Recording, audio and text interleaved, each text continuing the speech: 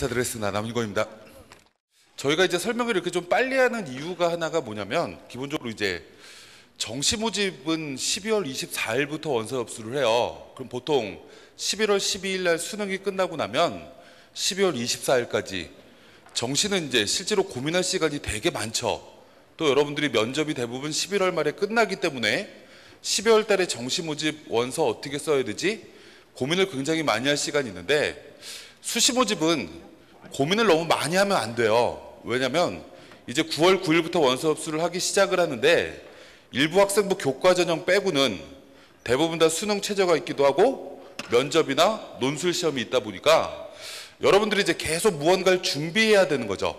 그러다 보니까 조금 빨리 수시를 결정을 해야 여러분들이 수시 모집에도 합격 가능성을 높일 수 있을 거라고 판단을 해서 저희가 이제 설명을 조금 빨리 잡았, 잡았고요.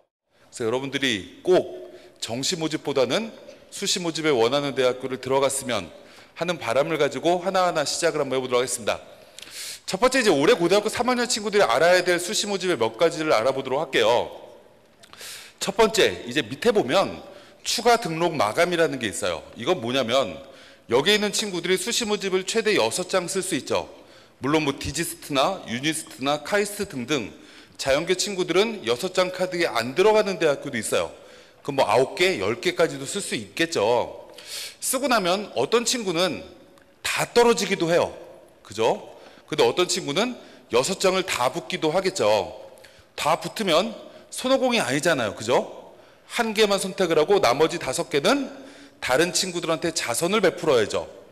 그럼 이제 추가 등록 마감이 길어졌다라는 얘기가 뭐냐면 대학이 실제로 추가 모집을 길게 한다라는 얘기니까 실제로 수시 모집에 많은 친구들이 추가 합격자로 발생을 한다라는 얘기예요. 그럼 이 얘기를 거꾸로 하면 정시로 넘어가는 인원은 상당히 줄어들겠다라는 거 첫 번째 알아두시면 좋을 것 같고요. 두 번째, 이 수시 모집이 지난해보다 약 2점 몇 프로죠? 2.7%쯤 모집 인원이 늘어났어요. 실제로 아 점점 점점 수시 모집이 늘어나는구나. 근데 이제 가장 많이 늘어나는 전형이 뭐냐면 학생부 종합 전형입니다. 그래서 실제로 올해 대학 입시에서 학생부 종합 전형은 지난해보다 모집 인원이 상당히 많이 늘었다. 약 14% 정도가 늘었죠. 그럼 이 얘기를 이렇게 이해하시면 될 것 같아요. 모집 인원이 늘어났는데 학생부 종합 전형에 합격하는 아이들의 90%는 재학생이에요. 고등학교 3학년 친구들이거든요. 근데 올해 고등학교 3학년 친구들은 지난해보다 만 명 이상이 줄었습니다. 그럼 학생 숫자는 줄었는데 학생부 종합 전형의 모집 인원이 늘어났다라는 얘기는 들어가기 쉬워졌다라는 얘기가 되겠죠. 그죠? 그래서 학생부 종합 전형은 지난해보다 들어가기가 조금 쉬워졌다라는 거 첫 번째 이해하시면 될 것 같고 올해 이제 전체적으로 학생들을 뽑는 방법을 쭉 나열을 해봤더니 맨 왼쪽에 있는 학생부 교과 전형이 저만큼 돼요. 그리고 종합 전형, 논술, 그리고 특기자 전형이 저렇게 나눠져 있는데 기본적으로 특징 중에 하나를 살펴보시면 첫 번째 이제 대구에 있는 대학교부터 먼저 말씀을 들어보도록 할게요. 경북대학교라는 대학교는 올해 맨 왼쪽에 있는 학생부 교과 전형의 선발 인원이 늘어났습니다. 반대로 바로 밑에 있는 대학교라고 일반적으로 얘기를 하죠. 영남대학교는 모집 인원이 거꾸로 줄어들었어요. 그럼 이게 어떤 영향이 있는지를 이제 하나씩 설명을 드릴 텐데 서울 쪽은 조금 다르다라는 걸 여러분들께서 이해하시면 좋을 것 같아요. 서울 쪽에 있는 대학교는 상위 15개라고 하면 서울대, 연대, 고대부터 시작을 해서 성균관대, 서강대, 한양대, 그리고 건국대, 숙명여대, 홍익대 이상의 대학교를 상위 15개 대학교라고 하는데요. 이들 대학교는 올해 가장 많은 인원이 늘어난 전형이 학생부 종합 전형이고요. 실제 정시만큼 많이 뽑는다. 학생부 종합 전형으로. 이거 이제 참고적으로 알아두시고 하나하나씩 이제 설명을 한번 들어보도록 할게요. 여기 지금 아까 제가 말씀드렸지만 중간에 한번 볼까요? 중간에 중앙대학교라는 대학교가 있어요. 이거 지금 학생부 교과 전형이 117명이 늘어났다라는 거예요. 그럼 이제 여러분들이 이걸 가지고 하나씩 제가 수시를 쓰는 방법을 말씀을 드려보도록 할게요. 어저께 이 밑에 이제 엑스포에서 엑스코에서 수시 박람회를 지금 하는 것 같더라고요. 어저께 중앙대가 왔다 간 걸로 알고 있는데 중앙대가 지난해 학생부 교과 전형으로 366명을 뽑았어요. 그럼 이 데이터는 지금 중앙대 홈페이지도 올려져 있거든요. 그럼 실제로 합격자 평균 점수가 홈페이지에 올려져 있고 어저께 대구 지역에 와서도 그 성적을 가지고 상담을 합니다. 근데 문제는 뭐냐면 올해는 모집 인원이 몇 명이냐면 483명이에요. 그래서 32%나 늘었습니다. 32%나 늘어났다라는 얘기는 합격선은 내려갈 가능성이 높은 거죠. 왜요? 들어가는 문이 넓어졌으니까. 근데 중앙대는 뭘 갖고 상담하는 거죠? 작년 결과 가지고 상담하는 거예요. 그죠? 그럼 어떤 문제가 생길까요? 작년 결과는 366명 뽑은 걸 갖고 상담하는데 올해 477명을 뽑는 예측치는 들어가 있지 않는 거예요. 그럼 상담을 하다 보면 학생들이 어떻게 느낄까요? 예를 들면 뭐 심리학과가 1.2등급짜리가 지난해 들어갔어요. 라고 중앙대에서 상담을 해요. 아, 높구나. 나는 1.3등급인데. 그럼 발걸음을 돌리겠죠. 다른 대학교로. 근데 실제로 모집 인원이 늘어나면 1.3등급짜리가 분명히 들어갈 수 있는 환경으로 만들어졌을 텐데 이 아이들이 지원을 안 하게 되면 합격선이 더 내려갈 가능성이 굉장히 높아요.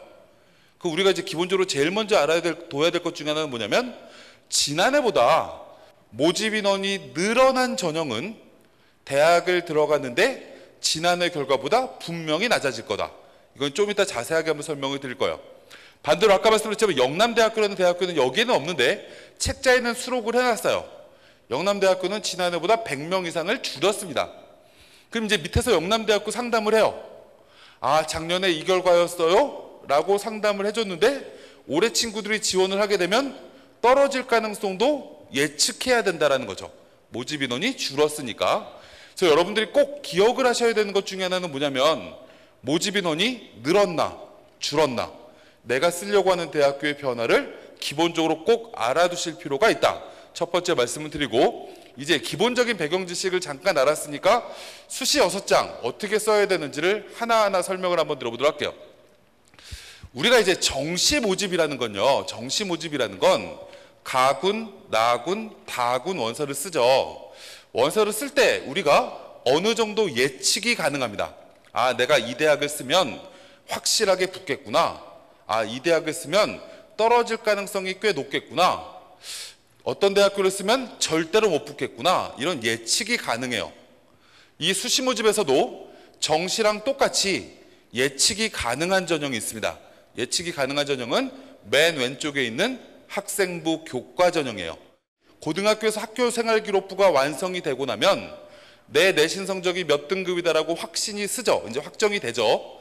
그럼 이걸 갖고 대학의 지난해 합격자 성적과 비교를 했을 때 지난해랑 모집 인원이 똑같거나 지난해보다 모집 인원이 늘어났으면 거의 당연히 붙게 될 겁니다. 올해 만 명도 줄었기 때문에 모집 인원이 조금 줄어든 대학교는 보수적으로 생각을 해야 되겠죠. 어찌됐건 교과 전형은 예측이 가능하다. 근데 그 옆에 있는 종합 전형은 논술 전형은 예측이 조금 어려워요. 그래서 수시 모집은 실제로 여러분들이 쓸 때 상당히 곤란한 경우가 상당히 많은데 이런 여러 가지 특징을 가지고 그럼 원서를 어떻게 써야 되냐면 이렇게 써야 된다라는 거예요. 그래서 하나씩 설명을 드리면 맨 처음에 보면 맨 꼭대기에 뭐라고 되어 있냐면 6월 모의 평가 성적으로 내 위치를 판단해 보자라는 게 첫 번째입니다. 그럼 예를 한번 들어보도록 할게요. 지난해 저쪽 서울에 가면 안양에 백영고등학교라는 학교가 있습니다. 그냥 일반계 고등학교예요. 근데 여기서 전교 3등 하는 아이가 있었어요. 전교 3등 하는 아이가 있었는데 이 아이가 수시 모집에 서울대도 넣고요. 연대도 넣고요. 고대도 넣습니다. 근데 서울대, 연대, 고대는 다 떨어지고 수시 모집에 어디를 합격했냐면 성균관대학교에 성균 인재 전형으로 글로벌 리더 학과에 합격을 했어요. 근데 이 친구는 붙었다고 분명히 좋아했어야 되는 친구인데 언론에 크게 났습니다. 왜 언론에 크게 났냐면 이 친구가 수능을 다 맞아버린 거예요. 한국사까지도. 그럼 다시 얘기하면 서울대 경영학과를 수석으로 들어갈 수 있는 성적을 받은 거죠. 공동 수석이긴 하지만 만점자가 몇 명이 있으니까. 근데 어찌 됐건 굉장히 좋은 성적을 가지고 서울대 경영학과를 들어갈 성적을 받았는데 수시 모집에 성균관대학교 글로벌 리더에 덜컥 합격을 하니 정시 지원이 안 되는 거죠. 그래서 걔는 지금 성균관대학교를 다녀요. 반수할까 말까 고민할 수도 있겠죠. 그죠? 그럼 기본적으로 아, 정시 모집에 갈 수 있는 대학교는 수시 모집에 지원하지 않는 게 좋겠구나. 라는 게 여러분들의 첫 번째 원칙인데 수능이라는 건 11월 20, 12일 날 보니까 9월 9일부터 9월 15일까지 수시 모집 원서 접수 한 다음에 시험을 보잖아요. 이제 예측이 가능해야 되는 거죠. 이걸 예측해야 되는데 예측할 수 있는 방법은 6월 모의 평가와 9월 2일 날 보는 모의 평가를 가지고 예측을 해야 돼요. 아, 내가 정시로 갈 수 있는 대학교는 지우자. 절대 수시에 쓰지 말자. 이런 걸 기본적으로 첫 번째 만들고 두 번째는 이제 교과 전형부터 찾아야죠. 학생부 교과 전형부터 찾아야 되는 이유는 제가 아까 말씀드렸지만 학생부 교과 전형은 내가 갈 수 있는 대학교를 예측하기가 쉽습니다. 대학교에 가가지고 여기 수시박람회에 가서 또는 대학교 입학처에다가 전화를 해가지고 내 내신 성적이 1.7등급인데요. 내 내신 성적이 2.5등급인데요. 내 내신 성적이 3.7등급인데요. 이렇게 얘기를 하면 대학이 아 무슨 학과쯤 쓰면 좋겠다 또는 우리 대학에는 해당이 안 된다 뭐 등등의 여러 가지 얘기를 해줄 겁니다. 그럼 기본적으로 아 학생부 교과 전형으로 쓸 수 있는 대학교를 찾아 나가는 노력이 첫 번째 여러분들한테 필요하겠죠. 물론 정시에 갈 수 있는 대학은 버려 주셔야 돼요. 버리고 그 위부터 찾아야 되는 거죠. 이걸 찾고 나면 아까 제가 잠깐 말씀드렸지만 수시 모집에 여섯 개를 다 붙을 필요 없어요. 제일 멍청한 친구가 어떤 친구냐면 이 대구에 있는 경북대하고 수준이 비슷한 학교가 서울 쪽으로 올라오면 건국대, 경희대 이 사이쯤 되는 게 경북대 수준으로 일반적으로 보여요. 그럼 어떤 아이가 경북대도 붙고 경희대도 붙었어요. 그리고 한국외대도 붙고 뭐 이렇게 쭉 붙, 붙습니다. 아씨 어디 가지? 이렇게 고민하는 건 굉장히 잘못된 방법이죠. 만약에 여기 있는 친구 중에서 내가 학생부 교과 전형으로 경북대학교를 교과 전형으로 붙을 수 있어 라고 확신이 들면 이 아이는 기본적으로 어디를 써야 되냐? 저는 기본적으로 서울대 써도 돼요. 학생부 종합 전형으로. 떨어지면 어때요? 떨어지면 어떤 아이로 변하냐면 아 나는 서울대를 떨어지고 경북대 다니는 학생이야 라고 얘기할 수 있는 거죠. 연대를 또 쓰고 떨어져도 돼요. 경북대 붙으면 되니까. 고대를 쓰고 또 떨어져도 돼요. 이렇게 공격적으로 위로 써도 된다라는 거죠. 하나라도 확실하게 붙으면. 아, 교과에 붙을 대학교가 있으면 확실하게 붙을 대학교가 있으면 종합전형은 교과를 쓴 대학교보다 한 단계, 두 단계, 세 단계 위의 대학교를 찾아 나가는 거다. 그죠? 그래서 기본적으로 아 근데 나는 교과 전형으로 붙을 대학교가 없는데요. 라고 하면 종합 전형을 어디를 어떻게 써야 되는 거죠? 6월 모의평가 성적을 예측을 해서 정시에 갈 수 있는 대학 이상의 대학교를 종합으로 찾아 나가시면 돼요. 무슨 얘기인지 가시죠? 종합으로 찾으려고 했더니 아 나는 교과 전형에 그러면 한 개 대학교를 쓰고요. 종합 전형에 두 개 대학교를 쓸 거야. 어 그래도 세 장이 남네. 만약에 이런 친구는 밑에 논술 전형도 고민해 보실 필요가 있겠죠. 만약에 우리 친구가 교과나 종합으로 여섯 장의 카드를 다 쓸 거면 논술을 고민할 필요는 없을 거고요. 그래서 이런 방법대로 여섯 장을 어떻게 쓸 건지를 하나하나 먼저 고민한다. 그래서 이제 설명을 하나씩 들어보도록 할게요. 학생부 교과 전형을 그럼 기본적으로 어떻게 골라야 되나를 기본적으로 제가 말씀을 드릴 건데 맨 꼭대기에 나의 내신으로 합격 가능한 대학을 리스트업하라라는 내용은 아까 제가 설명을 드렸어요. 근데 우리가 기본적으로 하나 알아둬야 되는 것 중에 하나가 뭐냐면 우리나라 대학들은 여러분들을 상담을 할 때 지난해 커트라인 가지고 상담하지 않습니다. 작년에 80%컷 가지고 상담하지 않아요. 그럼 이게 무슨 얘기냐? 10명 뽑는데 10등으로 들어온 애들 가지고 상담하는 게 아니고 8등으로 들어온 애들 가지고 상담하는 게 아니고 대부분의 대학교는 합격자 평균 가지고 상담을 합니다. 그럼 합격자 평균은 10명을 뽑는 학과라고 하면 5등, 6등쯤 되는 아이들의 성적을 가지고 상담을 해요. 그럼 예를 들어서 내가 가려고 하는 학교가 작년에 합격자 성적이 3.08등급이야. 이게 합격자 평균이야. 만약에 이렇게 보여지게 되면 실제로 이 대학교의 실제 커트라인은 3등급보다 곱하기 0.2쯤 내려갈 가능성이 굉장히 높아요. 그럼 3.08에 0.1을 곱하면 3.6, 3.7 여기까지가 거의 커트라인으로 내려갈 가능성이 높다라는 얘기가 될 겁니다. 그래서 기본적으로 대학에다가 상담을 할 때는 뭘 갖고 상담을 하는지를 여러분들이 먼저 확인하실 필요가 있어요. 아, 입학처에 계신 전화 받으시는 분, 이 결과가 저한테 말씀해 주시는 자료가 지난해 평균 점수인가요? 커트라인인가요? 이런 걸 물어보실 필요가 있다라는 얘기죠. 두 번째 이제 변수를 여러 가지를 고민해야 된다. 세 번째 이 내용은 이제 하나씩 설명을 한번 들어보도록 할게요. 변수예요. 아까 제가 말씀드렸지만 모집 인원이 늘어나게 되면 당연히 합격선은 저절로 내려갈 겁니다. 저 위에 있는 대학교는 지난해보다 모집 인원이 늘어난 대학교예요. 그 우리가 생각을 한번 해보자고요. 작년보다 모집 인원을 늘렸어. 학생부 교과 전형으로. 그럼 여러분들이 생각을 한번 해봐야죠. 왜 늘렸지? 라는 걸 기본적으로 궁금해야 됩니다. 여러분들은 학생이니까 궁금증을 계속 유발해야죠. 왜 늘렸을까? 간단한 이유죠. 작년보다 모집 인원을 늘린 대학교는 대부분 작년에 뽑았던 아이들 성적이 좋았으니까 모집 인원을 늘린 거겠죠. 뭔 얘기인지 가시죠? 그럼 기본적으로 여러분들이 생각을 하셔야 될 것 중에 하나가 아 모집 인원이 늘어난 대학교를 집중 공략하는 게 맞겠구나 라는 건 기본적으로 생각할 수 있겠죠. 두 번째, 수능 최저학력 기준이 없어진 대학교가 꽤 있어요.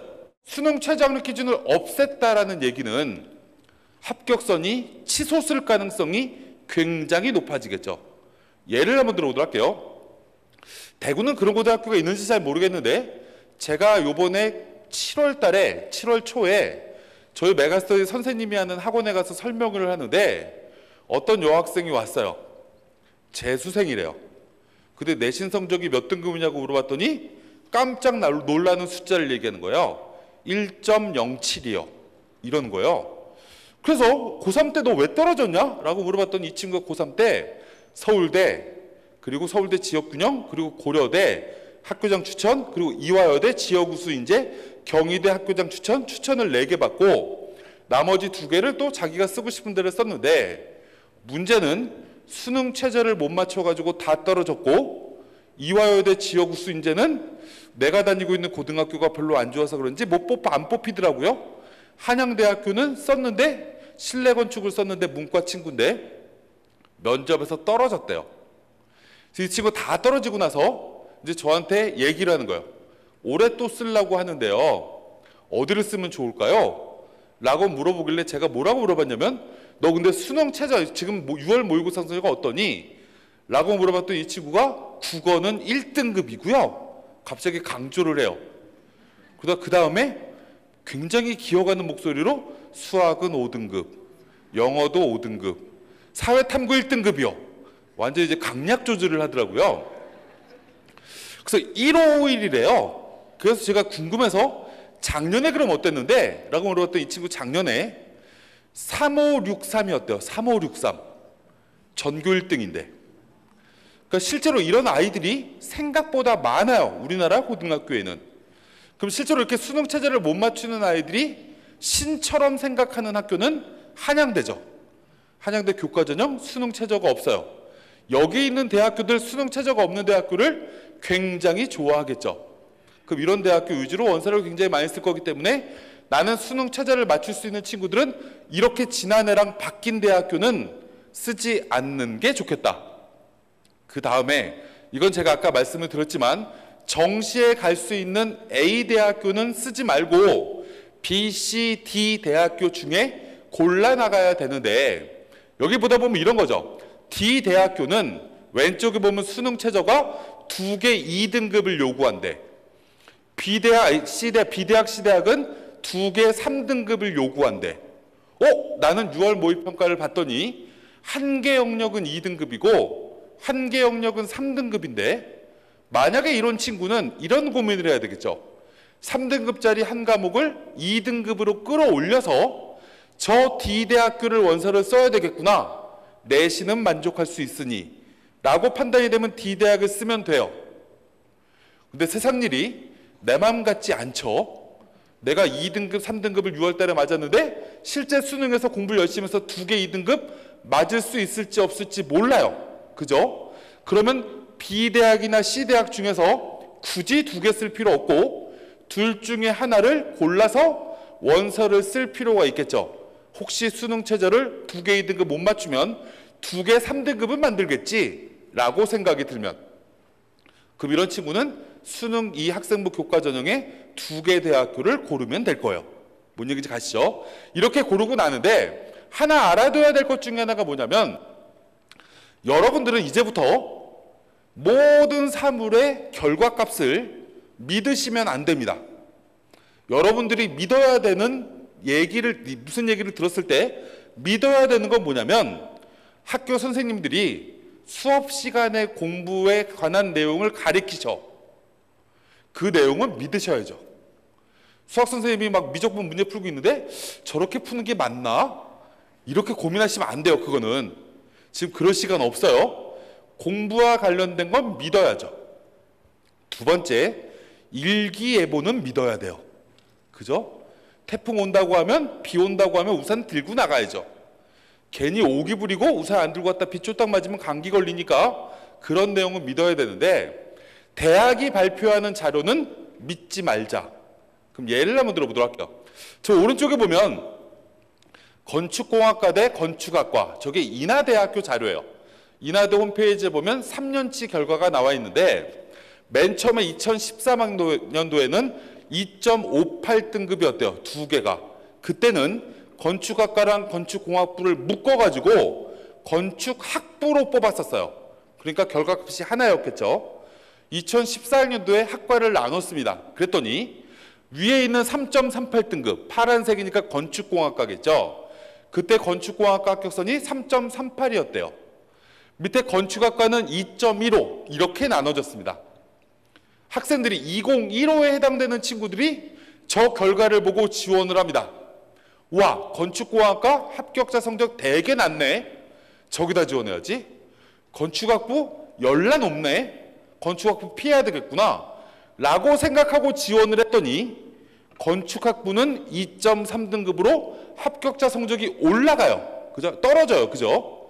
반대로 굉장히 내신 성적이 안 좋은 친구들이 들어갔던 건축공학부는 3.38에서 2.11까지 올라갑니다. 성적이 들쭉날쭉 이렇게 왔다 갔다 하는 거죠. 작년의 결과값을 보고 너무 이상하게 낮은 아이들이 많이 들어간 학과는 학과 레벨이 너무 떨어지지 않는 학과라고 판단이 되면 지원 안 하시는 게 좋은 거예요. 반대로 저 학과가 왜 이렇게 합격선이 높아? 라고 생각되는 학과는 거꾸로 합격선이 내려갈 가능성이 높다라는 거죠. 저런 쪽을 전략적으로 노려셔야 된다. 왼쪽에 문과도 보시면 똑같은 패턴입니다. 그래서 이렇게 이제 보시면서 어떻게 지원을 해야 될까 기본적으로 확인하시면 될 것 같고요. 그 다음에 이건 이제 모집 인원에 따라 변화되는 내용입니다. 최근 3년치 결과를 다 발표한 학교가 부산대가 있더라고요. 부산대 안 갈 건데 이렇게 생각하시지 마시고 보시면서 의미를 찾으시면 돼요. 맨 처음에 2013년도에 193명 뽑았습니다. 2014에 148명, 172명 이렇게 모집 인원이 변화했어요. 그럼 처음에 193에서 148은 약 20%의 모집 인원이 줄어든 거죠. 모집 인원이 많았을 때 경영학과, 국어국문학과, 영어영문학과가 약 2등급에 수렴하게끔 내신 성적이 나왔습니다. 학생부 종합전형에 모집 인원을 20%를 줄여놨더니 1.5등급에 수렴하게 학생부 성적이 올라갑니다. 아, 20%를 줄여놨더니 2등급짜리에 20%가 줄어들면 1.6등급 이렇게 되잖아요. 그만큼 내신 성적이 굉장히 좋은 아이들이 들어가는구나. 모집 인원을 거꾸로 늘렸더니 다시 성적이 떨어집니다. 이게 모집 인원의 위력이에요. 단 하위권 학과는 변화가 별로 없습니다. 그죠? 이걸 기본적으로 여러분들께서 알아두신다라고 하면 아까 제가 말씀을 드렸지만 모집 인원이 늘어난 대학교를 써야 되겠구나라는 명분이 또 만들어질 겁니다. 그 다음에 자연계도 똑같은 거예요. 자연계도 모집 인원이 두 배로 감소하니까 2분의 1로 감소하니까 합격선이 확 떨어져요. 다시 모집 인원이 늘어나니까 다시 합격선이 성적이 떨어지는 친구들이 들어오기 시작합니다. 그래서 아 모집 인원의 변화는 꼭 기억을 하실 필요가 있다. 그 다음 아까 학생부 교과를 선택을 했으면 두 번째 이제 학생부 종합 가지고 판단을 하셔야 되는데 맨 꼭대기에 뭐라고 적혀있냐면 나 같은 고교 선배 합격 사례와 비교하라라는 게 있습니다. 그럼 기본적으로 여러분들께서 꼭 확인하셔야 되는 건 뭐냐면 제일 중요한 게 이런 겁니다. 밑에 뭐라고 돼 있냐면 작년에 우리 선배가 1단계 서류 전형을 합격했는지를 확인하라. 그럼 이게 무슨 얘기냐? 우리나라 대학교 중에서 성균관대, 한양대 정도를 제외하고는 대부분의 대학교가 2단계 면접을 봅니다. 그 우리 선배가 작년에 예를 들어서 전교 100등짜리 선배가 A 대학교의 학생부 종합전형으로 집어넣었더니 1단계를 통과했어. 어, 나도 전교 100등인데? 라고 하면 똑같이 지원을 하면 아마 1단계를 무난하게 통과할 겁니다. 왜요? 올해는 모집 인원이 늘어났으니까 14%가 늘어났으니까 그럼 1단계를 통과를 해요. 그럼 2단계가 뭐죠? 면접이에요. 작년 선배는 나보다 못생겼어요. 작년 선배는 나보다 말도 못해요. 면접은 내가 더 잘 볼 수 있잖아요. 그죠? 1단계만 통과하는 게 목표가 돼야 되는 거예요, 여러분들은.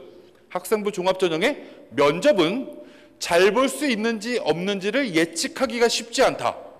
그럼 나중에 준비하면 되는 거니까 1단계를 통과를 할 수 있는지 없는지를 가장 쉽게 판단할 수 있는 방법은 내가 다니고 있는 고등학교의 우리 선배들이 지난해 어떤 고등학교에 썼더니 1단계를 통과를 했네? 나랑 수준이 내 성적이랑 비슷한 친구 선배들이 어떤 대학교는 썼더니 1단계를 그냥 떨어지네? 라는 걸 기본적으로 확인하고 나면 어떤 대학교를 학생부 종합전으로 써야 되겠구나? 기본적으로 확인할 수 있을 거예요. 그래서 학생부 교과 전형보다 레벨이 높은 학교를 이렇게 종합 전형으로 골라 나가는 게 필요하다라는 걸 기본적으로 말씀을 드리고 그다음 이 얘기는 이제 서울 쪽에 단국 대학교인데요. 하나 여러분들께서 알아두셔야 될 게 하나가 있어서 말씀을 드리도록 할게요. 이 중간에 있는 DKU 인재 전형, DKU 인재 전형이 학생부 종합 전형입니다. 단국 University 인재 뭐 이 뜻인 것 같아요. 학생부 종합 전형인데 학과를 잠깐 볼까요? 저쪽에 자연계부터 보면 화공, 기계, 소프트웨어 이런 학과가 합격 성적이 높습니다. 이쪽 문과는 국어 국문, 커뮤니케이션, 행정학 이런 쪽이 합격자 성적이 높습니다. 우리가 기본적으로 이 옆에 있는 학생부 교과 전형하고 비교를 해보면 내신 성적은 큰 차이가 안 나지만 학생부 종합 전형이 합격선이 조금 떨어지죠. 그죠? 왜 그럴까요? 학생부 교과는 내신만 가지고 뽑는 거고 학생부 종합 전형은 여기에 비교과 자기소개서를 보는 거니까. 근데 여기서 더 중요한 게 하나가 있어요. 더 중요한 게 이 밑에를 잠깐 보면 응용통계 경제학이라는 게 있습니다. 우리가 꼭 명심을 하나 해줘야 될 것 중에 하나가 뭐냐면 학교 레벨이 굉장히 위로 올라가면 문과 학생들이 경영, 경제, 응용 통계 등등의 학과를 좋아합니다. 성적이 좋은 아이들은. 단국대학교는 우리나라 대학 중에서 서열을 몇 번째라고 말씀드리긴 조금 애매하지만 정시 기준으로 하면 내개 영역 100분위가 평균 85가 되면 단국대학교를 문과로 들어갈 수 있고요. 평균 100분위가 80 수준의 수능을 받으면 자연계로 들어갈 수 있습니다. 그럼 그냥 3등급쯤 되는 아이들이 들어가는 거겠죠. 이 아이들의 상당수가 제일 어려워하는 과목 중에 하나가 응통, 경제 이런 과목입니다. 아, 실제로 아이들이 조금 싫어하는 과목이 싫어하는 학과가 합격선이 굉장히 떨어지는구나. 생각보다 경제학과는 원래 인기 학과임에도 불구하고 학교가 중위권쯤으로 내려오게 되면 인기 학과가 아니다. 라고 인지하시면 될 것 같아요. 자연계도 마찬가지고요. 그래서 우리가 이 학생부 종합전형으로 원서를 쓸 때 여러분들이 원하는 대학에 따라서 학과를 선택을 할 때, 아, 이 학과에 아이들이 많이 지원을 할 것인가 아닐 것인가는 기본적으로 상식적으로 한 번 판단을 하고 지원을 하실 필요가 있다. 더 중요한 게 뭐다? 내가 가지고 있는 장점보다는 남들이 지원을 안 하겠구나라고 판단되는 쪽으로 지원하는 것도 좋은 방법이다라고 말씀을 드리고 그 다음 내용이 있어요. 그 다음 내용이 이 면접이라는 걸 학생부 종합전형은 보는데 수능 전에 보는 학교가 있고 수능 후에 보는 학교가 있습니다. 그럼 이렇게 여러 가지 대학교가 쭉 나눠져 있는데요. 이거 그냥 보시면 될 것 같고요, 책자에. 우리가 기본적으로 한번 상식적으로 생각을 한번 해보자고요. 수능 전에 광운대라는 학교가 있고요. 숙명여자대학교라는 학교가 있는데 10월 31일, 11월 1일입니다. 뒤에 자연계를 보면 날짜가 반대로 가 있죠. 그죠? 두 개 대학교는 날짜가 왔다 갔다 합니다. 그럼 이제 생각을 한번 해보자고요. 저 날짜가 어떤 날이냐? 수능이 11월 12일입니다. 그죠? 저 날짜는 소위 말해서 학생들한테 별로 매력적이지 않은 날짜예요. 그럼 수능 보기 열흘 전에 저 대학 면접을 보겠다는 아이들은 나는 수능은 포기했어 라고 생각하는 아이들이 대부분이겠죠. 그러면 전략적으로 노릴 필요가 있지 않을까? 두 번째, 여기 보면 이화여대 중앙대학교가 이 면접 날짜가 똑같습니다. 두 개, 중앙대가 좋나요? 이화여대가 좋나요? 라고 질문하면 여학생 어머님들은 이대가 좋다라고 합니다. 남학생 어머님들은 이대 못 가니까 중대가 좋다라고 합니다. 제가 봤을 때는 도찐 개찐입니다. 똑같아요, 레벨이. 면접을 같이 봅니다. 그럼 생각해 보자고요. 남학생은 중대밖에 못 가죠. 이대 가고 싶어도 못 가요. 여학생은 이대 갈까? 중대 갈까? 선택할 수 있습니다. 그럼 여기서 가장 중요한 포인트가 뭘까요? 여 남학생이 싫어하는 학과는 분산되겠구나. 그죠? 굉장히 크게 분산될 겁니다. 이대 영어 영문학 갈까? 중대 영어 영문학 갈까? 이대 인문과학부 갈까? 중앙대 인문학부 갈까? 이런 고민을 하겠죠. 실제로 아이들이 이렇게 나눠지는 쪽은 실제 대학이 가지고 있는 위치보다 합격선이 조금 내려갈 가능성이 높다 라고 이해하실 필요가 있다. 수능 뒤에도 이렇게 겹치는 대학교가 많습니다. 와, 근데 중간에 동국대 연세대학교가 이렇게 겹쳐. 와, 이거 중복되는구나. 이렇게 얘기하시면 안 돼요. 종교 전쟁하네? 이렇게 얘기하셔도 안 돼요. 이거는 학교 위치가 차이가 큰 거죠. 이건 아이들이 분산될 가능성이 거의 없는 겁니다. 이게 아니라 수준이 비슷한 학교가 몰려 있는 쪽으로 같이 분산되겠구나라고 생각하실 필요가 있겠죠. 그럼 자연계는 경희대, 인하대. 이거 레벨 비슷한 학교니까 이런 쪽을 전략적으로 노리는 것도 하나의 방법이겠구나. 그래서 날짜를 기본적으로 고민할 필요가 있다. 그 다음 이제 논술 얘기입니다. 논술은 해야 될까 말아야 될까를 기본적으로 고민할 때 가장 중요한 건 아까 말씀드렸지만 교과 전형과 종합 전형으로 여섯 장의 카드를 다 소비할 거면 논술 신경 쓰실 필요 없는 거고요. 나는 교과와 종합 전형으로 여섯 장의 카드를 쓰기에는 무언가 대학이 모자러. 그러면 논술을 또 한 번 고민을 해보실 필요가 있겠죠. 논술을 고민할 때 제일 먼저 고민해야 되는 것 중에 하나가 뭐냐면 수능 최저학력 기준입니다. 그럼 예를 한번 들어보도록 할게요. 여기 성균관대학교랑 중앙대학교가 세계 등급함 6으로 똑같습니다. 그러면 우리가 생각을 한번 해보자고요. 수능 최저가 똑같은데 어느 학교가 더 좋지? 라고 질문하면 대부분 다 성균관대학교라고 얘기를 하겠죠. 그죠? 그러면 성균관대학교는 수능 최저를 세개 등급함 6 맞추는 애들이 생각보다 많을 거예요. 근데 중앙대학교는 수능 최저를 맞추는 아이들 숫자가 훨씬 줄어들겠네요. 작년에 저희 학원에 다녔던 어떤 아이는 고등학교 3학년 때 성남에 있는 풍생고등학교를 나온 친구인데 수능 세계 세경력 6을 맞추고 중앙대 논술을 사회복지학과를 썼대요. 그래서 논술을 이 친구는 머리털 나고 딱 이틀을 공부하고 중대 논술 시험을 보러 갔는데 붙었어요.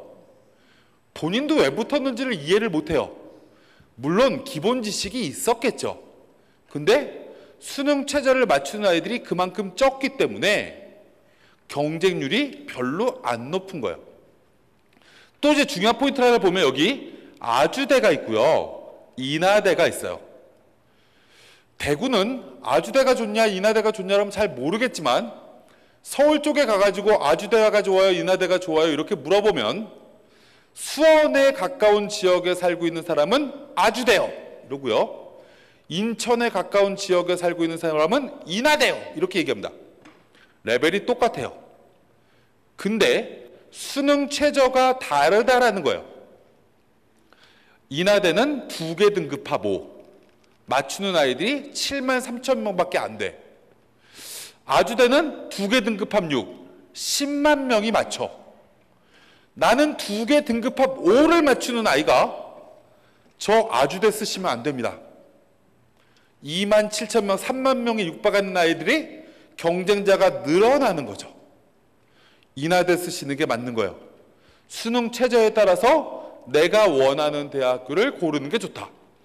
여기 지금 두 개 등급합 사에 동국대, 홍익대가 있는데 동국대, 홍익대의 차이점은 뭐냐면 홍익대는 사회탐구의 수능 최저를 탐구 두 과목 갖고 맞춰야 돼요. 동국대는 한 과목 가지고 맞춰야 됩니다. 그럼 어디가 더 낫냐? 홍대를 수능 최저 맞추는 애들이 훨씬 더 적다라고 이제 이해하시면 되는 거겠죠. 그래서 이런 수능 최저에 따라서 내가 맞출 수 있는 대학교를 기본적으로 확인하시면서 준비하실 필요가 있다. 그 다음에 또 고민해야 될 게 논술인 거죠. 논술 문제. 내가 어떤 유형의 논술 문제를 잘 할 수 있을 것인가. 이걸 여러분들께서 기본적으로 고민하셔야 돼요. 문과는 이렇게 나눠져 있고요. 왼쪽에 보면 수학 문제가 나오냐, 영어 문제가 나오냐가 기본적으로 차이점이 있는 것 같아요. 그죠? 자연계 같은 경우는 수학만 보냐, 과학도 보냐, 국어 논술 문제가 나오는 학교가 있냐, 이렇게 나눠진다라고 이해하시면 될 것 같습니다. 어떤 거에 따라서 원서를 쓰시면 될 것 같은데, 제가 어저께 코엑스에서 설명을 했어요. 서울에서. 그때 어떤 어머님이 갑자기 설명회가 끝나고 나서 오셨어요. 그래서 이 어머님 이렇게 질문하니까 우리 아이가 딸아이가 작년에 한양대 논술 전형으로 간호학과를 썼더니 예비 1번을 받았어요. 근데 한 명도 안 빠져나가서 최종 불합격돼서 올해 재수를 해요. 라고 얘기를 하시더라고요. 근데 올해 이 논술이 한양대와 성균관대가 날짜가 똑같아요. 어느 대학교를 쓰는 게 좋을까요? 갑자기 이런 질문을 하세요. 그럼 기본적으로 이제 이 얘기를 기본적으로 이제 왜 하냐면 우리가 이제 이 어머님한테 제가 뭐라고 얘기를 했냐면 이런 거예요. 한양대학교는 수학 문제만 나오는 논술을 보는 학교다. 성균관대학교는 수학 과학을 보는 학교인데 작년에 간호학과를 예비 1번 받았다라는 얘기는 올해 그 작년보다 올해 실력이 조금만 늘면 당연히 합격 가능성이 늘어나겠지요.가 첫 번째. 두 번째는 한양대랑 성균관대학교랑 날짜가 똑같다라는 얘기는 애들이 분산되기 때문에 붙을 가능성이 더 높아져서 한양대 간호는 당연히 쓰시는 게 좋을 것 같다. 단 자제분이 과학 논술에 더 강점이 있다라고 하면 성균관대도 고민 한번 해보셔야 되는데 원래 한양대 간호학과랑 레벨이 똑같은 성균관대 공대는 제가 봤을 때 건축학부 정도밖에 없다. 공학 계열이나 자연과학 계열이나 전자전기를 쓰면 한양대 간호보다 훨씬 더 붙기가 어려울 거다. 뭐 이런 얘기를 했어요. 그럼 기본적으로 우리가 논술을 준비할 때도 내가 어떤 방법으로 준비해야 될지를 조금 고민하셔야 되는데 제가 아까 이제 말씀드렸지만 교과와 종합과 논술을 우리가 고민을 할 때 교과 전형으로 하나라도 붙을 수 있는 대학교가 있다라고 하면 무조건 논술과 종합은 위로 고민하시는 게 좋겠다. 라는 이제 말씀을 드리면서 논술 일정을 쭉 한번 보시다 보면 수능 전에 보는 학교가 더 위에 있는 학교인데 지난해랑 달라진 거는 한양대 서울 캠퍼스와 한국항공대학교가 지난해 수능 전에 논술 봤었는데 올해 수능 뒤로 이사 간 거 빼고는 달라진 게 하나도 없습니다. 그래서 날짜를 한번 보도록 할게요. 날짜를 쭉 보다 보면 기본적으로 이거 문과예요. 문과인데 수능 전에 보는 날짜들을 쭉 보니까 날짜가 다 분산되어 있습니다. 그죠? 그 그냥 호불호가 갈리게 원서를 쓰면 될 것 같아요. 근데 수능 직후에 보는 학교들을 보니까 가장 빅매치가 나- 일어날 수 있는 날짜가 11월 14일입니다. 경희대학교랑 성균관대학교랑 한양대학교랑 세 개 대학교의 논술 날짜가 똑같아요. 대구도 토요일 날은 엄청 막히죠. 시내가. 서울은 토요일은 죽음입니다. 논술이 3일을 같이 보는데 어떤 학교 오전에 보고 어떤 학교 오후에 본다라고 해서 차를 타고 이동하려고 하면 생각보다 어려워요. 분명히 아이들은 분산될 거기 때문에 이 날짜에 어떤 대학교를 원서를 써야 될지를 여러분들께서 고민하셔야 되는데 아까 말씀드렸지만 첫 번째 고려해야 될 게 뭐죠? 수능 최저. 아, 경희대학교는 문과가 두 개 2등급이야. 성균관대학교는 세 개 등급함 6이야. 한양대는 수능 최저가 없어. 이렇게 차이점이니까 내가 어느 쪽에 맞는지를 판단하시면 된다. 첫 번째. 두 번째. 아, 이 시험은 논술 문제 유형이 달라. 경희대학교랑 성균관대학교는 약간 문제 차이가 거의 똑같긴 하지만 성균관대학교는 성균관 600년이기 때문에 윤리와 사상의 교과서에서 많이 출제되는 것 같아. 경희대학교는 그렇지 않아. 그래서 문제 유형에 따라서 내가 유리하다라고 생각되는 학교 찾을 수도 있을 거고. 나는 수학을 잘하는데 그러면 한양대학교 경영학과 등의 상경계열을 쓰는 게 좋겠죠. 이런 문제 유형 갖고 나눠보는 것도 필요할 거예요. 저 뒤에 보면 11월 21일, 22일에도 이화여대, 한국외대가 날짜가 똑같아요. 한국 외대는 대부분 어문 계열이니까 여학생들이 좋아하는 학과들이 많죠. 이화여대랑 같이 보니까 실제로 분산될 것 같아요. 그러니까 실제로 우리가 이 한국 외대는 학과 간의 갭이 되게 커요. 몽골어과, 이란어과 등등의 학과는 합격선이 생각보다 낮다라는 거예요. 그래서 여러분들이 만약에 서울 쪽의 대학교를 노린다라고 하면 한국 외대도 생각을 한번 해보실 필요가 있는데 특히나 요즘 인문계는 90%가 논다라는 얘기가 있어요. 인구론, 그죠? 실제로 그래서 한국외대 어문 계열로 대학을 들어가는 건 어찌 보면 나중을 생각하면 괜찮은 방법이지 않을까라고 생각이 들고요. 이건 자연계요. 자연계 대표적인 올해 가장 중요한 포인트가 뭐냐면 저 꼭대기에 10월 10일을 보면 쌍십절이에요. 그죠? 10월 10일 날 건국대, 동국대, 홍익대가 논술 날짜가 똑같아요. 그 논술이 똑같은 날 봐요. 그러면 굉장히 좋은 기회가 될 수도 있겠죠. 홍익대는 한 개 영역 2등급이고요. 동국대학교는 두 개 등급 합 5고요. 건국대는 수능 최저가 없습니다. 이런 날짜 기본적으로 고민하실 필요가 있지 않을까? 그래서 날짜도 잘 고려해서 원서를 썼으면 좋겠다. 적성 검사를 봐야 되는 친구들도 적성이 있기 때문에 한번 이건 보시면 좋은데 시간 관계상 넘어가도록 할게요. 그 다음 여러분들이 알아두셔야 될 것 중에 하나가 아까 수시 모집이 67%라고 말씀을 드렸는데 굉장히 특이한 사실이 있습니다. 수시에서 못 뽑으면 대학은 정시로 넘깁니다. 많은 인원을. 저기 보면 성균관대학교가 작년에 258명 넘겼어요. 178명 서울대, 연대 고대가 150명을 넘겼습니다. 원래 성균관대학교는 수능을 되게 좋아하는 학교이기 때문에 원래 많이 넘기는 학교고 서울대, 연대, 고대도 150명이 넘게 넘겼습니다. 왜 넘겼을까? 라고 생각해 보면 이유는 간단합니다. 못 뽑아서. 그럼 왜못 뽑냐? 올해 연대 논술이 수능 최장력 기준이 자연계가 4개 영역 등급 합 7입니다. 내년 2017학년도가 되면 연대 논술 전형의 수능 최저는 4개 영역 등급 합 8로 바뀝니다. 그럼 내년에 왜 바뀌냐? 내년 요강을 언제 발표한 거냐면 올해 4월 달에 발표했어요. 여러분들 입시 요강을 언제 발표했냐면 작년 11월 달에 발표했어요. 그럼 작년에 발표했다는 얘기는 작년 결과를 못 보고 발표한 거죠. 내년 요강은 올해 4월 달에 발표했다는 얘기는 작년 선배들 뽑은 방법을 보고 바꾼 거예요. 자연계가 수능 최저 7을 걸어놨더니 수능 최저를 못 맞춰. 그래서 정시로 넘기는 거예요. 다시 얘기하면 연세대 논술은 4개 영역 등급합 7만 맞추면 수학과 화공과 전자공학과 기계공학과 정도를 제외하면 나머지는 거의 그냥 들어갑니다. 못 뽑으니까 정시로 넘기는 거예요.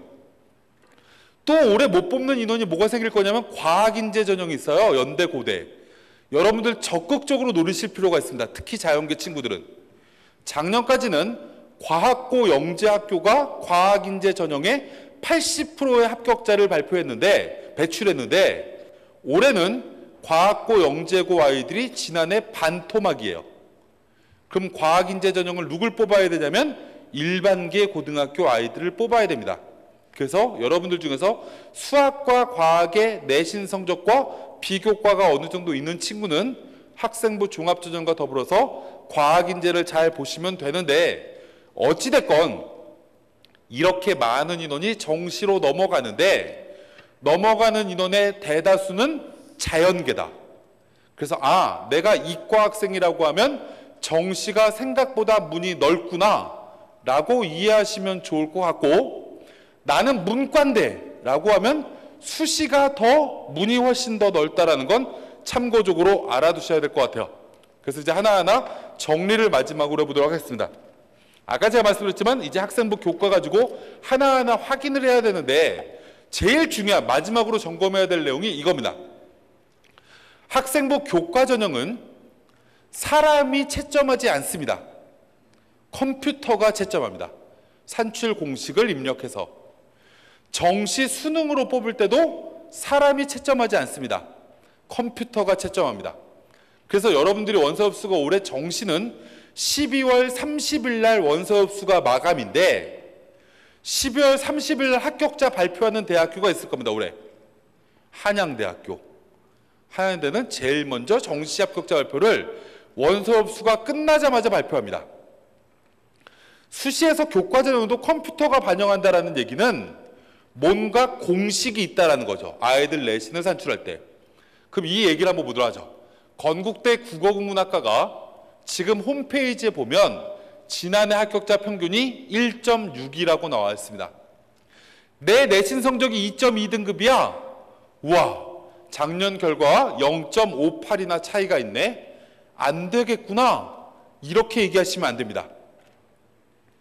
산출을 해보니까 1.62에 해당되는 평균을 점수를 집어넣으니까 997점이 나오는데 내 내신 성적이 997.525 이렇게 나올 수 있어요. 1학년, 2학년, 3학년의 반영 비율이 다르죠. 어떤 대학교는 1학년이 20%, 2학년 40%, 3학년 40% 이렇게 반영하기도 하고 30, 30, 40 이렇게 반영하기도 하고 반영 비율이 똑같기도 하고 또 어떤 대학교는 국어는 4시간 들었고 수학이 6시간 들었으면 수학에 6이라는 가중치를 곱해주고 국어는 4라는 가중치를 곱해주고 이렇게 내신 산출하는 방법이 다 다르기 때문에 내신 값을 매겨보면 점수가 뒤집히는 경우가 생겨요. 그 학생부 교과 전형을 원서를 쓸 친구들은 꼭 대학의 산출 공식에다가 점수를 집어넣어 볼 필요가 있다. 그럼 이걸 제일 잘 되어 있는 업체 중에 하나가 원서 접수하는 업체들이에요. 나중에 수시 모집 원서 접수하는 업체가 뭐 진학사라든지 UA 등등이 있는데 거기서 해보셔도 되고요. 학교 선생님들이 가지고 있는 프로그램이 있을 수도 있으니 선생님한테 여쭤보셔도 되고 확인하시면 될 것 같고요. 두 번째, 수능 최저입니다.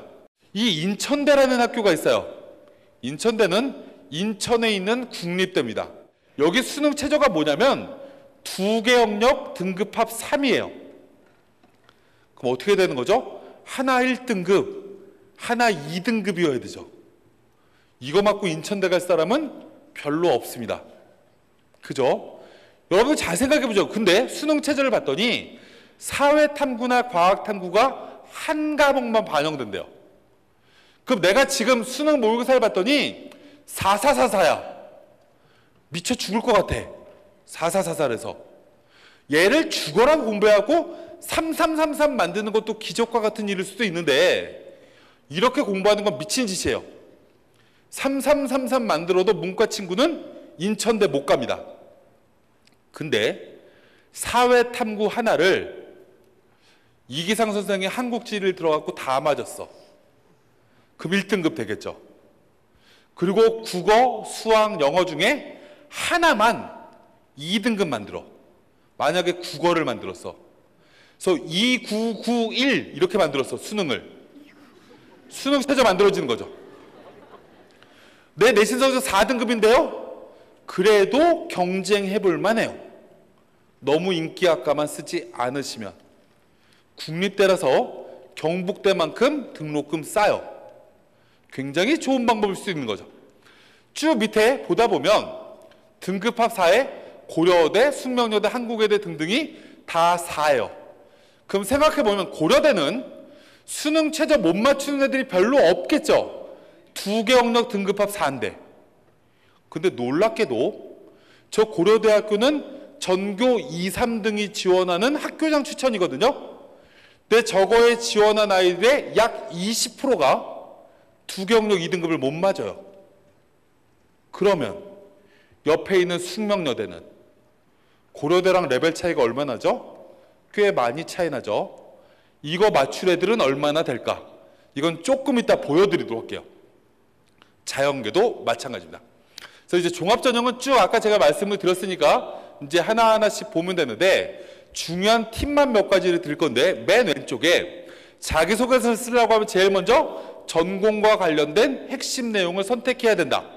이건 의대 갈 애들한테나 해당되는 내용이에요. 그 옆에 보도록 할게요.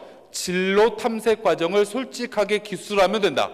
서울대 경영학과 합격한 지금 나눠드린 자료집에 있어요. 이 친구가. 나는 경영학과 맞춤 활동이 없었어요. 얘는 경제학이나 법학과 등의 관심 관련 활동을 쭉 했던 걸 가지고 그냥 경영학과 쓴 거예요. 얘가 누구냐면 3월 달에 메가스터디에서 목표 달성 장학생을 뽑아가지고 400만 원 장학금 주네요. 자기의 진로랑 안 맞는 거 가지고 경영학과를 붙습니다. 어느 대라고요? 서울대예요. 전공과 맞으면 정말 좋겠지만 안 맞아도 된다라는 얘기예요. 꼭 맞아야 되는 대학은 의대예요. 왜요? 의대는 제일 높은 대학이니까. 그 다음에 제일 중요한 게 이거예요. 평가자의 입장에서 써야 됩니다. 대학에서 제일 싫어하는 게 뭔지 아세요? 저는 이것도 했고요, 요것도 했고요, 저것도 했고요, 저 우수하죠? 이런 애이 제일 싫어합니다. 예를 들어 보다 할게요. 성균관대학교가 1000명을 모집합니다. 학생부 종합 전형으로. 평균 경쟁률이 20대 1입니다. 그럼 몇 명이 지원한 거죠? 2만 명 지원한 거죠. 이걸 평가하는 사람은 몇 명이냐면 30명입니다. 그럼 몇 장을 봐야 되죠? 자기소개서를 700개를 봐야 돼요.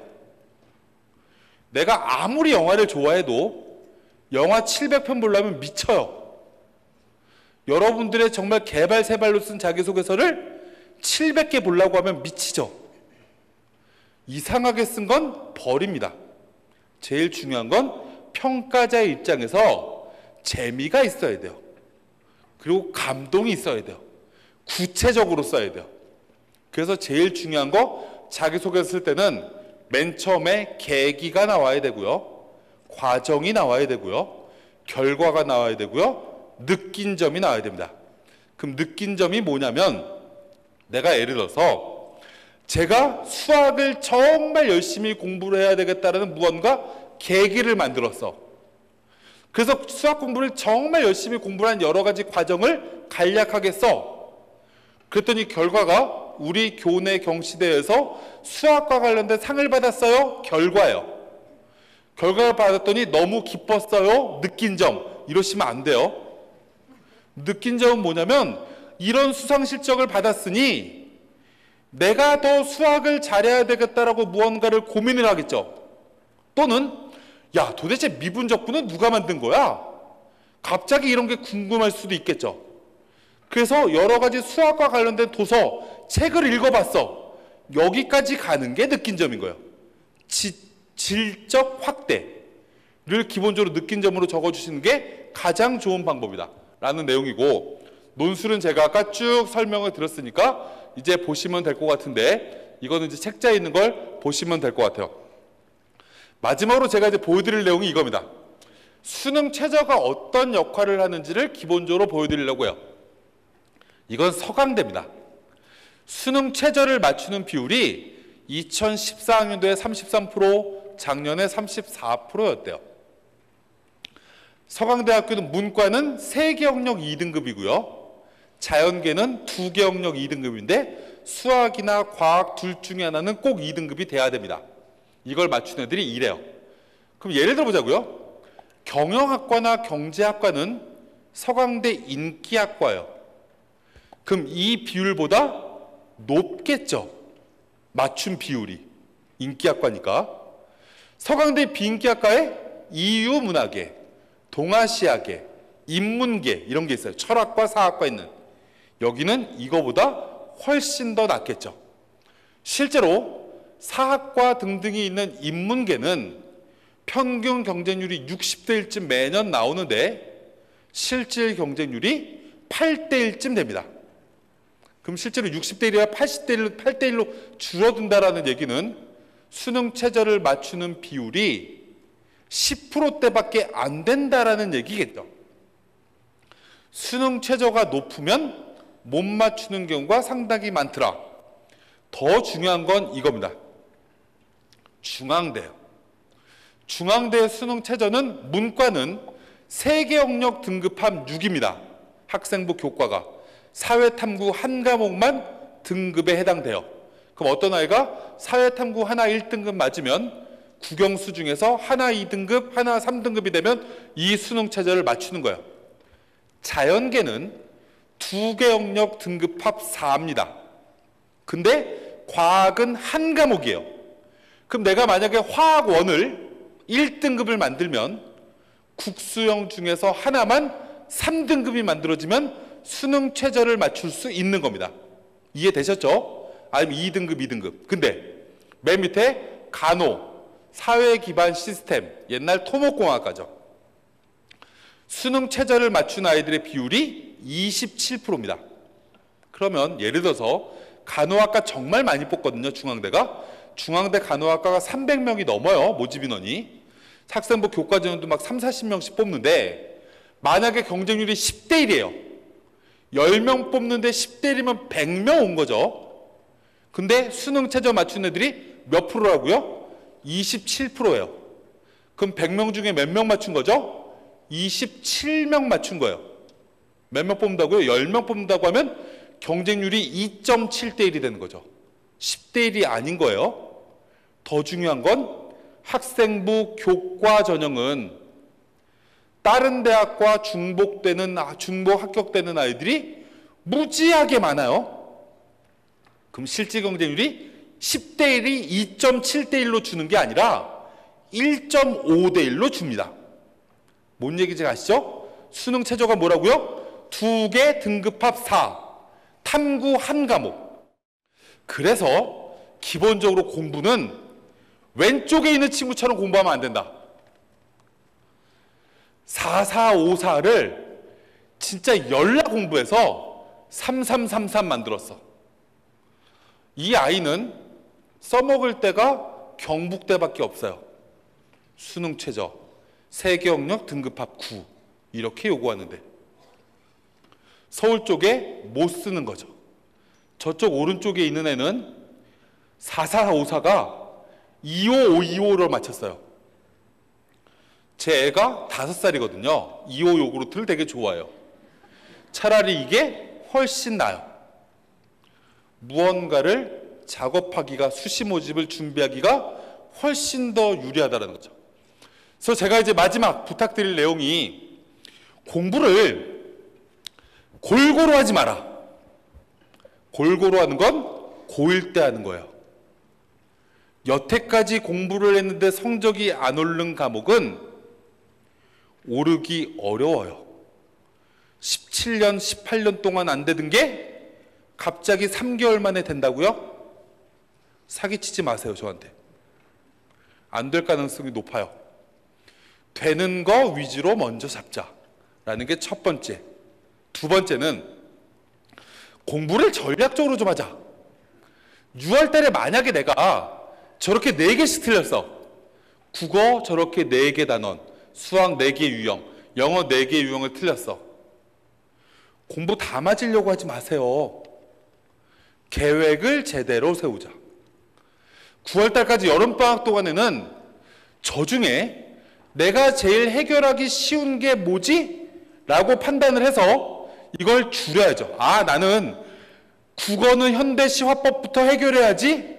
수학은 수열과 지수로부터 해결해야지. 라고 해결을 해야 되겠다는 목표를 세우고 9월달 시험을 본다. 그럼 9월달에 이 전략대로 가면 내가 취약한 게 두 개씩으로 주는 거죠. 그럼 아 내가 여기서 또 줄일 수 있는 과목이 있다라고 하면 그 다음에 또 이걸 어떻게 해결할 것인가 이걸 가지고 또 고민해서 이걸 마지막 70일 9월 2일 날 모의고사 보고 70일 동안 해결을 해야지 라고 이런 무언가의 계획을 세우셔야 여러분들 성적이 올라갈 수 있을 겁니다. 그래서 기본적으로 이 여름방학 동안에 어떻게 학습 전략을 세우실지 잘 고민을 하시고 여러분들이 여름방학 동안에 분명히 공부를 열심히 하신다라고 하면 올해 수시 모집에 정말 좋은 결과 있을 거라고 저는 생각을 하고 오늘 저는 인사를 드리도록 하겠습니다. 감사합니다.